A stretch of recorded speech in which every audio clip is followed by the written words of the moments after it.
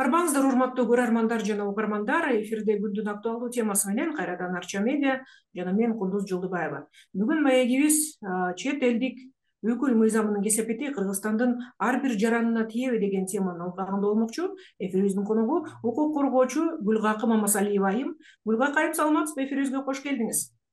Саламатсыздарбы жогорку кеңеште коммерциялык эмес уюмдар жөнүндө мыйзамына жана кылмыш жаза кодексине өзгөртүүлөрдү киргизүү тууралуу мыйзам долбоору каралып жатат.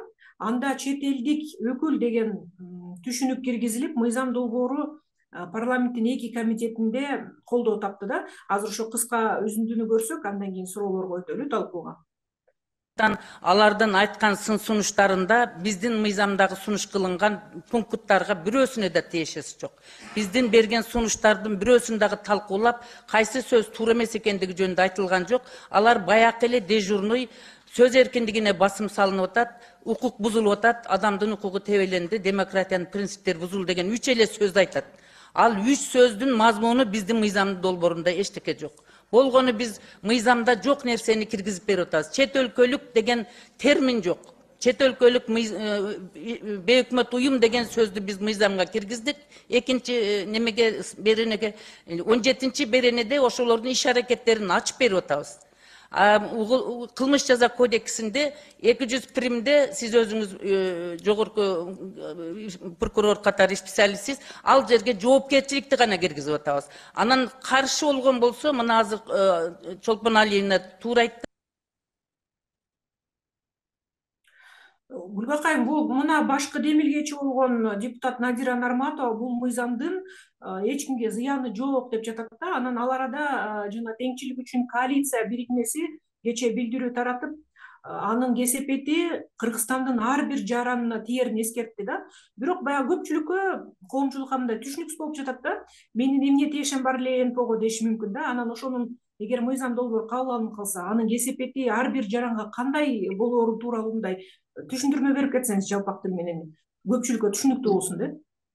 Эми жанагы кылмыш кодексине өзгөртүүлөрдү киргизебиз дегенде эки берене киргизип атат да бул биринчи берене ушул коммерциялык эмес уюмдарды түзгөн жарандардын үстүнөн же болбосо ошол коммерциялык уюмдардын жетекчилерине экинчи берене болсо мындай аталат бирикмелердин ишине жегердүү катышкан мындай уюмдардын жоосундарын пропагандалоо үчүн он жылга чейинки эркинен ажыратуу жазаланат деп жазылган да то есть мындайча айтканда эгерде бир уюм биздин бизден кызмат алып жүрсө же болбосо биздин семинарга катышса уюм эмес жөн эле жаран же болбосо бизде бизге бизден консультация алып жүргөн болсо ошо жаран биздин уюмдун ишмердүүлүгүнө катышуу деген беренеге дал келет сөзсүз түрдө ал эми биздин э, логотиптер же болбосо эл аралык уюмдардын логотиптери э, ошол доскага же болбосо өзүлөрүнүн жеринде коюлган болсо анда ал э, чет элдик агент мыйзамынын мына чет элдик агенттин ишмердүүлүгүн пропагандалап жатат деген неме менен берене менен миңден эки миң эсептик көрсөткүчкө чейин айып пулга салынышы мүмкүн. Мисалы азыр э, көп эле э, почти жүз процент мектептерде эл аралык уюмдар э, компьютер алып берген же болбосо доска алып берген. Ал компьютерлардын доскалардын боорунда көрсөңүздөр юсаидтин логотипи бар же болбосо ошол кызматташкан бейөкмөт уюмдун логотипи бар. Демек бул мыйзам кабыл алынса анда ошону пропагандалаган директор ошол мектептин жетекчиси ошол берене менен э, кылмыш э, э, немесине жазалоого кылмыш жазоого тартылышы мүмкүн. Же мисалга алсак ошол эле арис. Арис деле ошол всемирный банктан каржыланат. Аристин долбоорунун алкагында көпчүлүк жерлерде суулар жолдор курулуп атат анан суулар суу түшкүчөлөр орнотулган жерлерге аристин логотиптери бар. Ар бир айылда ошол логотиптери коюлган анда анда мындай неме сүрөттөсөк болот. Бул мыйзамды кабыл алса ошол айыл өкмөт жоопко тартылып калышы мүмкүн. Же ошо сууну ичкен жарандар эмнеге дегенде жанагы э, жигердүү катышып атпайбы же жолду казганы трубаны өзүнүн жолунда өткөзгөнү ашар жолу менен катышып атпайбы ошолор дагы жоопко тартылып калышы мүмкүн. Анан ошо кечээки билдирүүдө мынтип айтылып жатат да ошо баягы кыргыз жарандарынын конституцияда жана эл аралык милдеттенмелерде кепилденген жана фундаменталдык укуктары менен эркиндиктери бузулуп калат депчи. Өлкөнүн укук коргоо секторун такыр жок кылары жок кылынып калышы мүмкүн депчи. Бул кандайча болуп мыйзамга айтып атат анда эч нерсе жок нарматова бул жерде неме кылып атат да? Мындайча айтканда көп нерсени бурмалап анан кийин туура эмес маалымат берип атат. Эгерде россиянын немесине карасак тажрыйбасына карасак орус тилчи мугалим жоопко тартылган экен. Орус тилчи мугалим э, ошол кылмыш э, кодексине ылайык жоопко тартылган экен. Ал орус тилчи мугалим мигранттарга бияктан барган мигранттарга орус тилинен сабак берчү экен.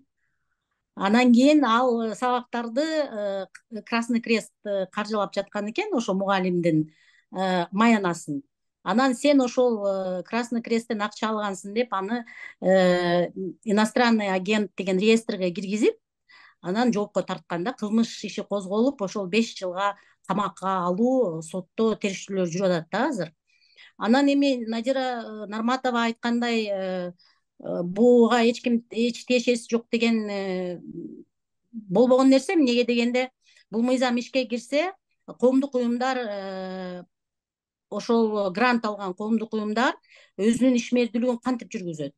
Ишмердүүлүгүн жүргүзө албайт эмнеге дегенде коомдук уюмдардын жардамы көбүнчө эле ошол жарандарга багытталган да. Мисалы үчүн надира нарматова айтып атпайбы социалдык коомдук уюмдарга тиешеси жок депчи. Андай эмес да мисалы кечеги ошол кыздын э, кыз э, бир айым э, немеге зөөкүрлүккө кабылып мурду кесилип кулагы кесилди го ошого азыр коомдук уюмдар жардам көрсөтүп атат да. Эгерде алар талап кыла башташса ушул эмне силер ошол жанагы закон о проступковго карата эрте кое бериңер ошол зөөкүрдү же болбосо азыр сот териштирүүлөрүндө анга жеңилдик менен дагы жаза жеңил жаза каралып калса анда ызылдап чыгышат да коомдук уюмдар. Ошондо саясатка аралаштыңар деп биринчи э, бир эме болот. Экинчиси ошол э, кызматты алган жабыркаган келин кайтып ошол мына мыйзамга туш келет да. Жабыркаган келин он жылга камалып калышы мүмкүн же болбосо миңден эки миң эсепке айыпка жыгылышы мүмкүн. Ал эми ошол э, эмнеге дегенде ал деген жигердүү катышып атпайбы э, жигердүү катышуу эмне экени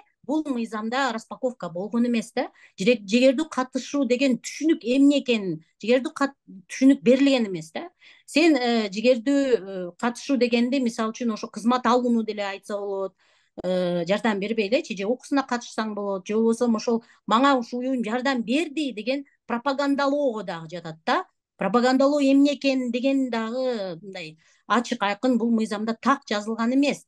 Ошон үчүн жанагы башкы прокуратура дагы өзүнүн заключениясын бергенде бул мыйзамга айтып атпайбы тактыгы жок тактык жок болгон үчүн бул э, немени өзгөртүүнү кылмыш кодекске киргизбейбиз киргизбегенин сунуштайбыз деп айтып атат э, башкы прокуратура. Эмнеге дегенде э, бул беренелер бар да бул жерде мындай айтып атпайбы? Коомдук уюмдар ушул элдерге зыян келтирсе же болбосо ошол ден соолугуна зыян келсе а бизде кылмыш кодексте ден соолугуна зыян келтирүү боюнча беренелер көп да мисалга ошол эки жүз канчанчы беренеде жазылган кылмыш кодексин азыр эсимен чыгып атат анан эки жүз кырк бешинчи беренеде ал нерсе жазылган да дагы жүз отузунчу беренеде ал нерсе жазылган эми мындайча айтканда аянычтуу нерсеси бул коомдук уюмдарды же коомдук уюмдардын ишмердүүлүгүнө катышкан жарандардыга көрүлгөн жаза өлтүрүү жаза менен тең да. Мисалы үчүн адам өлтүрүү жазасы сегиз жылдан он эки жылга чейин жүз жыйырма экинчи беренеге ылайык адам өлтүрүү жазасы сегиз жылдан он эки жылга чейин каралган да ал эми коомдук уюмдар дагы ошол адам өлтүрүү жазасына теңеп коюп атпайбы ал эми коррупция боюнча жаза беш жыл экен. Коррупцияга аралаштың же болбосо ошол акча уурдасаң казынадан ошол акча ошо беш жылга экен да. Мындайча айтканда мындай юридикалык тилде пропорционалдык каралган эмес адилеттүү берене болуп эсептелбейт да бул ал эми укук мына кылмыш кодекс өзү өзүнүн немеси содержаниясы смыслы бул деген жаза кодекси бизде неме кылыш керек да адамдарды коргош керек. Адамдарды коргоп адамдарга жана кол салууга кепилдик бербеген мыйзам да булчу а кайтып бул берене деген бизге окшогон коомдук уюмдарды камаганы жол ачып берип атпайбы жөнөкөй адамдарды адамдарды жапканы жол ачып берип атат да. То есть бул жерде адилеттүүлүк жок да а кылмыш кодекстин бир принципи эң негизги принципи бул адилеттүүлүк даже жанагы неменин э, чара колдонуу дагы адилеттүү болуш керек да адилеттүү каралыш керек да эми мисалы ошол адам өлтүрүү менен теңеген адилетсиз же болбосо ошол коррупционердин жазасы менен теңеген адилетсиз э, туурабы же болбосо ошол э, коомдук уюмдардын жумушуна ишмердүүлүгүнө катышуу берене тоже адилетсиз. Ушул жактан караганда бул кылмыш кодексине киргизилип аткан беренелер такыр э, жооп бербейт да башка мыйзамдарга да жооп бербейт анан турмушка да дал келбейт. Ошо жана жегерди катышуу деп атпайсызбы? Анда жогорку кеңеш дагы бул мыйзамга тартылып анда жоопко тартылыш керек да депутаттар. Алар деле ошо юсаидтен жардам алат алар деле ошо коомдук уюмдардан жана тренингтерге катышып керек болсо жанагы өлкөгө барган командировкасына чейин каржыланып атпайбы? Ооба. Эгерде мисалга ошолордун окуусу э, эл ошо кыргызстанда түзүлгөн же лицензия алган эл аралык коомдук уюм болсо ал ал деген алар дагы ооба эгерде жигердүү катышса туура айтасыз жогорку кеңештин депутаттары бүт состав э, жоопко тартылышы мүмкүн то есть мындайча айтканда эгерде бийлик э, бир депутатты тизгиндейм деп же болбосо кылмышка тартам десе бирок ал эл аралык уюмдун эсебинен э, командировкага барса мисалы үчүн э, прибалтикага же англияга анда аны ушул берене менен жигердүү катыштың сен аны пропагандаладың сен интервью бергенде ошол жака барып айттың. Деши мүмкүн да мисалы үчүн кайсы уюм демөөрчү менен келди деген сөзсүз болот да. Же газеталарга смилерге чыкса анда аны дагы жоопко тартышы мүмкүн ошо башында бул мыйзам долбооруна тиги отуз эки депутат демилгечи болуп баягы топ болуп кошулбады беле анан бирок бүгүн азыр жыйырмасы эле калыптыр да он экиси чыгып кетиптир ошо калган эл өкүлдөрүнүн баш тартып демилгечи топтон чыгышып кетишинин себеби эмнеде болду деп ойлойсуз? Ушул кооптонууну себеби жөнөкөй эле эмнеге дегенде тиги э, кыргызстандын э, коомдук уюмдары тиги посольстволорго арызданабыз деп чыгышты да. э, биз ошентип эле мен деле ал демилгелчилердин биримин ошол посольствого арызданып чет жака чыгабыз дегендерге неме бербей койсоңуздар жакшы болобу дегенчи виза бербей коесуңарбы деген сунуш менен кайрылганбыз да. Анан кийин деген ошодон коркуп булар жайында чыкканга аргасыз болгон. Көп эле э, депутаттардын балдары э, ошол жакта чет жакта окушат э, америкада немеде кошмо штат америкада европада окушат. Ал мындай двойной эки стандарттуулук деп айтып коет да. Эмнеге дегенде бул деген азыр демократия мыйзамдуулукту бузуп атпайбы же мына азыркы өзгөртүүлөрчү? Же болбосо адамдардын эркин уюшуу э, укугун бузуп атат? Эркин катышуу бийликтикке эркин катышуу укугун бузуп атат ачык митинг акцияларды укугун бузуп атат то есть мындайча айтканда европа менен сшада конституцияда адам укугу аябай жогорку деңгээлде турган ал мамлекеттердин принциптерин тукуруп аткан сезилип атат да депутаттарчы анан биздин өзүбүздүн ичибизде дагы кыргызстандагы адам укугун мына жанагындай кайдыгер карап басмырлоо адам укугун басмырлоо конституциянын эң негизги неме беренеси бир абдан чоң беренеси бул ошол адам укугу ал адам укугу да чектелип атат да эми бар жок жактан мисалга азыр коомдук уюмдар дын коомдук уюмдардан кызмат алган бүт элдердин укугу чектелип атпайбы азыр. Онкобольнойлор инвалиддер же болбосо ошол рак менен ооругандар да социалдык жактан бейбечаралар ошолордун баарынын укугу бузулат да азыр. Демек андай неме массовый укук бузуу бул конституцияга конституция жол бербеш керек да андай нерсегечи демек депутаттар ага деле көңүл бурбай атат. Анан могу эксперттердин айтымында бул мыйзам ошо орусиянын чет элдик агенттер тууралуу мыйзамына көчүрүп алынган анан сиз дагы жана айтып өттүңүз мисалдарды анан дагы кайсы чет мамлекеттерде бул мыйзам иштейт анан ошо коомчулукка тийгизген таасири кандай болду? Жана бир мисалды айтып өттүңүз орусияда ошол эле. Дагы башка мисалдар барбы орусияда мисалы үчүн ошол эле бир белгилүү адамдарды бул чет элдик агент экен деп тааныган учурлар болуп атпайбы неме россиядан кийин эле бул мыйзам грузияда неметилген сунушталган анан грузиндер э, митинг акцияга чыгып ал мыйзамды э, кайра тартып алышты. Э, башка снг мамлекеттеринде мындай дискриминация көрүнүшү бар мыйзам сунуштала элек.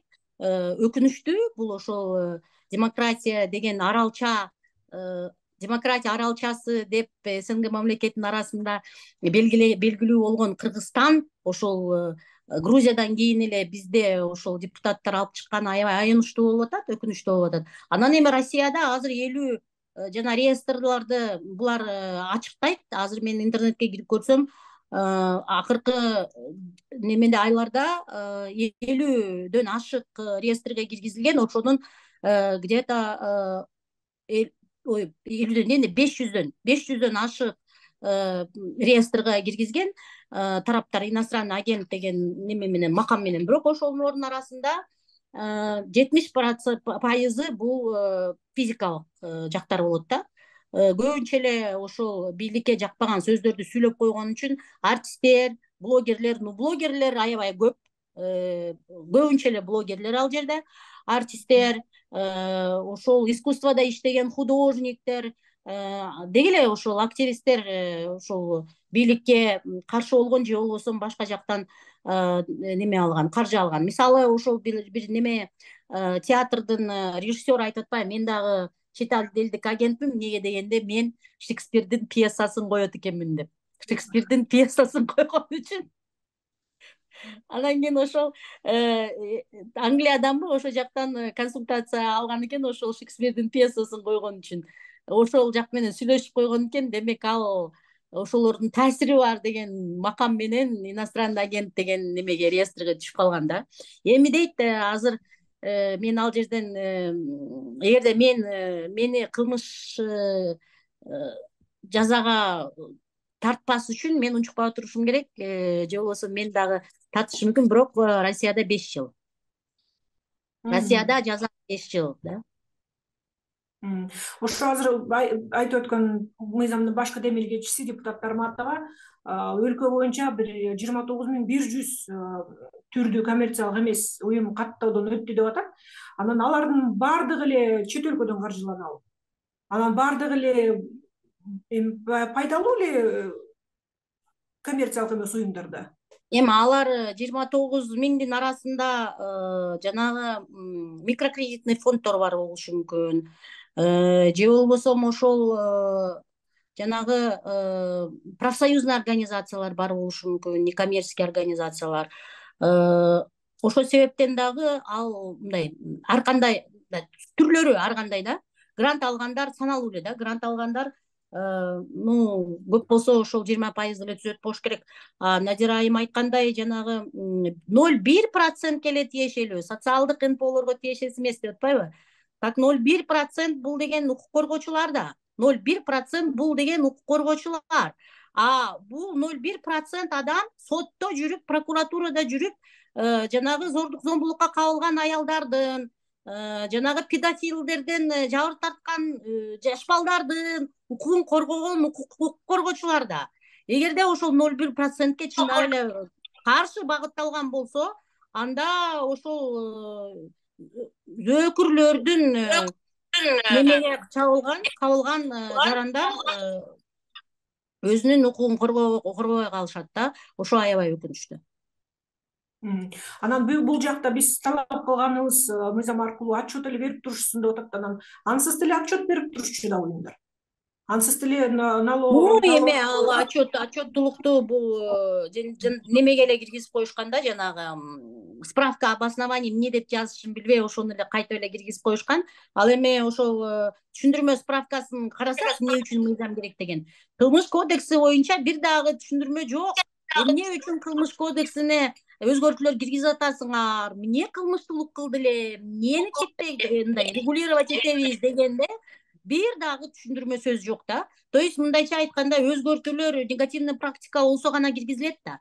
Ал эми андай негативный практика жок болсо э, коомдук уюмдар э, элдерди э, ну адамдардын ден соолугуна зыян келтире турган нерсеге үгүттөбөсө же болбосо ошол бийликке каршы үгүттөбөсө кстати бийликке каршы үгүттөө беренеси дагы бар. Ал боюнча канча биздин активисттер түрмөдө жатат и так эле? Ал берене боюнчачы ошол немеге мамлекетке кол салуу боюнча то есть азыркы кылмыш кодекстин алкагында деле жоопко тартса болот да азыркы кылмыш кодексинин алкагында эле. Бул берене чындап ошол э, жөнөкөй э, адамдарга э, келген пайда берген коомдук уюмдарды жана укук коргоочуларды тизгиндөө болот да бул абдан терс көрүнүш.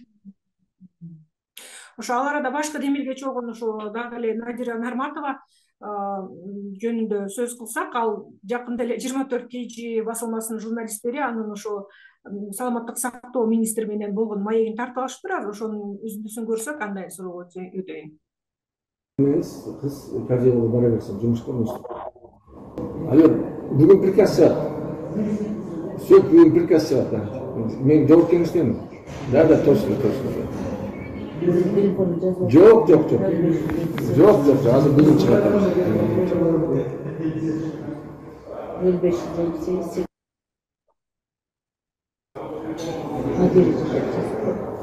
мына шығып қойсаң мен жаңағы режим алып санап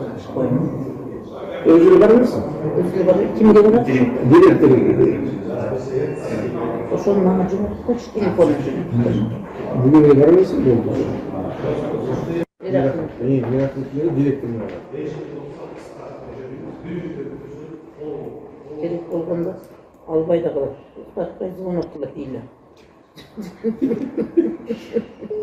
эми баарыбызда эле тууган бар анан кийин ар бир семьяда ушундай болот экен да сизде деле тууган бар менде да тууган бар анан кичине анча мынча карап койбосоң ыйлайт билесиз жок общий кирүүгө болсо киришип болот общий болмойт общий кирүү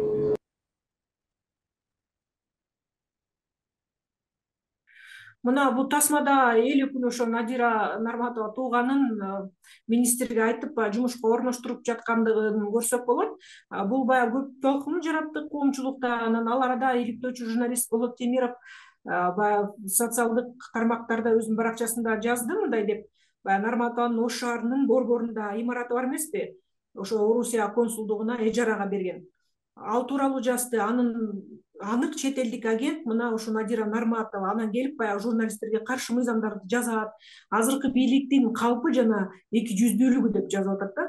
Сиз бул пикирге кандай карайсыз? Анан чындыгында эле акыркы убакта кош стандарттуулук баягы атат болуп калгандай болуп атат да бийлик үчүн ооба туура айтасыз бул деген эки жүздүүлүк аны деген өкүнүчтүү ошол эки жүздүүлүктү көрүп деле ачып деле берилсе эл унчукпаганы абдан өкүнүчтүү да эл деген например көчөгө чыгып надира нарматованын мандатын кайтаруу боюнча инициатива эч ким көтөргөн жок да туурабы элдер көрүп атат аны көрүп атат бирок жутуп коюп атат да ал надира нарматова боюнча азыр кыргызстандын баары билип калды болуш керек ошентип өзүнүн тууганын жумушка орноштурат деген бул торг э, көрүп эле атабыз э, ошентип эле ошол посольстводон акча алганы бул чет элдик агент болуп эсептелет э өзү эле кайтып эле. Кайтып ошол мыйзам надира нарматованын өзүнө иштей турган мыйзам да. Эгерде мисалга ал мыйзам кабыл алынып калса надира нарматованын өзүнө иштелип калышы мүмкүн. Мисалга надира нарматованын дагы андан сырткары элдос деген коомдук уюму бар экен элдос деген микрокредитный агентствосы коомдук уюм болуп эсептелет да. Ошол коомдук уюм э, азыр дагы караш керек ал коомдук уюм бизге окшоп налог тапшырып атабы төлөп атабы же төлөбөй атабы мен ал боюнча маалыматым жок экен бирок ошол элдостон акча алган кредит алган жарандардын баары чет элдик ой иностран ой жанагы кылмыш кодексинин экинчи беренесине ылайык алар дагы он жылга камалып калышы мүмкүн же болбосо өзү нарматова беш жылга жоопко тартылышы мүмкүн ошол жанагы неме боюнчачы ошол кылмыш кодексин өзү сүрмөлөп аткан сүрмөлөп аткан берененин курмандыгы болуп калышы мүмкүн да. Ал жөнүндө ал ойлонбой эле да азыр бул заказ аткарып көнүп калган депутат деп айтсак болот да. Заказ аткарып көнүп калган ошол россияда россия посольствосуна өзүнүн мекемесин бергенден кийин демек ошол россиянын россиянын заказын аткарып жатат деген ойго мен толугу менен кошулам эмнеге дегенде бул мыйзам токсон процент ошол россиянын мыйзамынан көчүрүлүп алынган даже мына кылмыш кодексине киргизе турган беренелер сөзмө сөз көчүрүлгөн сөзмө сөз. Бирок ошол биздин кылмыш кодексинде бул нерселер бар да бул беренелер уже эле бар да. Аны деген карабай эле жөн эле тупо эле көчүрүп алган да бул деген позор да бул деген уят болот анан ушул ушул позор болгон долбоорду депутаттар өткөрсө анда депутаттардын баарына түкүрсө болот да эмнеге дегенде ал мыйзам чыгаруучу орган го. Мыйзам чыгаруучу орган болгондон кийин өзү өзүлөрү мыйзамдуулукту бийик сакташ керек да. Бир беренеге бир каршы келген мыйзамды өткөрбөш керек. Аларда канча юристтер отурат? Добуш берген депутаттар дагы уялыш керек андай нерсени жасагандачы депутаттар өзү дагы ошолор жана болот ооба ошол эле болот темировдун командасы жакында ушул биринчи айым президент садыр жапаровдун жубайына тиешелүү кайрымдуулук фонд эне балага тирек ошол жөнүндө иликтөө чыгарып ал дагы кытайдан каржыланаарын жазып чыкты эле да демек анда кытай менен болгон келишимдерди долбоорлорду карап чыгышыбыз керек. Биякта кызыкчылыктар кагылышы болушу мүмкүн деп атат да. Анда бул мыйзам кабыл алынып калса анда бул кайрымдуулук фонд дагы чет элдик өкүл болуп калат да эсептелип. Ооба чет элдик өкүл болуп калат. Анан кийин кылмыш кодекске кирген беренелер ошол президенттин айымынын үстүнөн тоже неме ушул жоопко тартылышы мүмкүн да президенттин айымы делечи ошо жоопко тартылышы мүмкүн. Бирок бул берене терилип иштейт да терилип иштейт биз түшүнүп атабыз бул берене баарына эле иштебейт бул берене терилип иштейт жанагы депутат нарматова айткандай бул мыйзам мына коомдук уюмдарга тиешеси жок бул коомдук уюмдарга тиешеси бар деген иштебей калат ал маалдачы иштебей калат. Эмнеге дегенде коомдук уюмдарда бөлүп жарган болбойт бул мыйзам дискриминация мыйзам болуп атпайбы коомдук уюмдарды жакшы жаманга бөлгөн жамандарга кылмыш кылмыштуулукка тартуу деген мыйзам болуп атпайбы демек бул терилип иштей турган мыйзам. Бирок эгерде президенттин мөөнөтү аяктаганда президентке бирөө өч алуу болсо өч алгысы келсе анда бул беренени иштетиши мүмкүн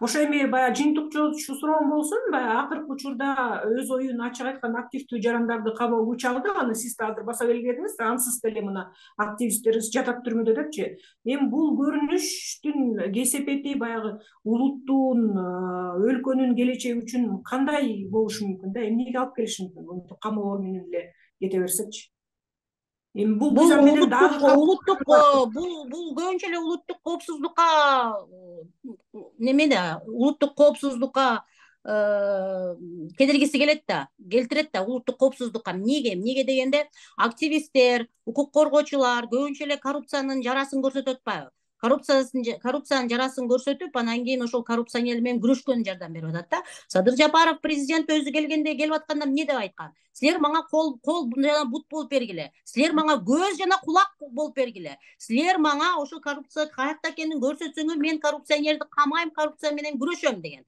Антпей эле кайтып коррупцияны сүйлөй турган адамдарды камай турган мыйзамдар кетип атпайбы? Жарым жартылай жанагы смиге каршы мыйзам ошол блогерлерге каршы мыйзамдар.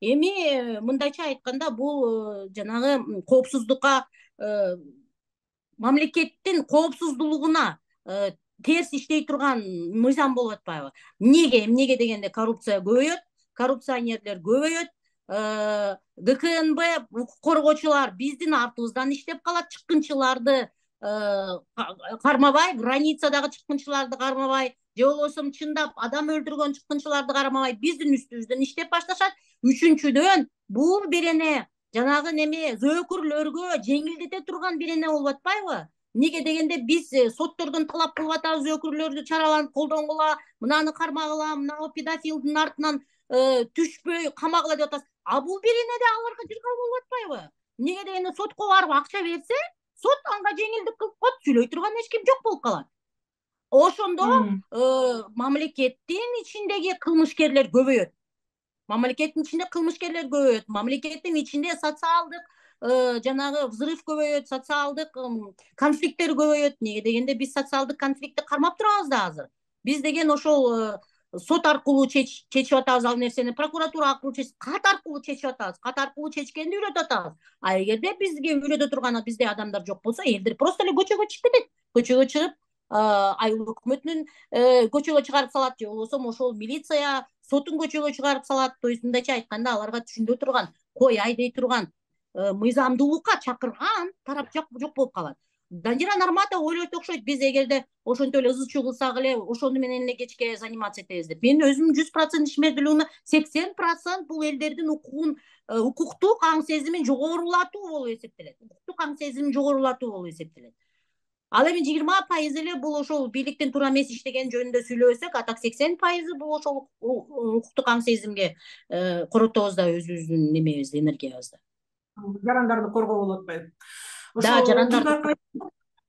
сиздин бүгүн ошо маңыздуу жана маанилүү маегиңизге терең ыраазычылык билдиребиз мында түшүнүктүү эле жалпак тил менен жеткирдик деп үмүттөнүп туралы ошо коомчулукка бул мыйзамдын кесепети ар бир жаранга кандай тиеринчи анан көрөрмандар менен угармандарга дагы ошо эскерте кетсем бүгүн маегибиз ошо чет элдик өкүл мыйзамынын кесепети кыргызстандын ар бир жаранына тиеби деген теманын алкагында болду. Биздин эфирибиздин коногу укук коргоочу гүлкакы мамасалиева айым болду. Гүлкакы эже сизге ишмердүүлүгүңүзгө ийгилик каалайбыз. Сак саламатта туруңуз. Көрөрмандар менен угармандар бизден алыстабаңыздар арча медиа ушу күндүн актуалдуу темалары менен кайрадан эфирге чыгып темаларды көйгөйлөрдү талкууга алып чыга бермекчи мен ошо көрөрмандарга көрөрмандарга айтат элем сиздерден сураныч. Өз депутаттарыңыздарга чалгып сүйлөшүңүздөр сүйлөшүп ушул мыйзамды мыйзамды колдоого чакырыңыздар рахмат рахмат